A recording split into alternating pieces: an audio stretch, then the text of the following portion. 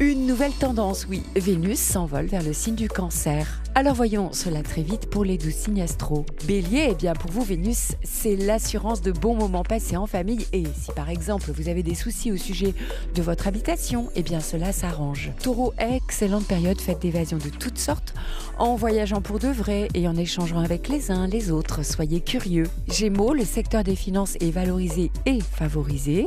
Cela vous fera du bien, surtout si vous avez des préoccupations dans ce domaine. Et vous, natif du cancer, à présent Vénus, la petite bénéfique, est avec vous. Vous allez adorer cette période si vous êtes amoureux ou que vous souhaitez le devenir. Lion, à présent vous serez plus discret sur qui vous aimez et si vous aimez. Et puis il peut y avoir des moments de solitude mais assurément bénéfiques. Vierge, pour vous c'est une très bonne chose que cette Vénus en signe ami. Ce qui sera privilégié, eh bien la vie amicale, les projets et votre vie en société. Balance, plein feu sur votre vie professionnelle, sur vous et puis aussi sur la vie publique.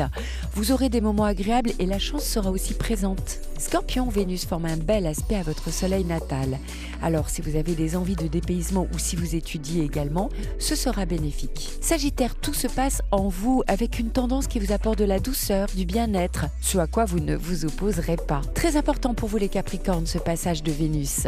La vie relationnelle est favorisée, alors soyez à l'écoute de l'autre, de vos partenaires de cœur comme de travail. Verseau, c'est dans votre vie au quotidien que vous allez pouvoir souffler et vous accorder du temps. Natif du poisson, vous allez aimer cette période faite de joie liée aux amours et au divertissement.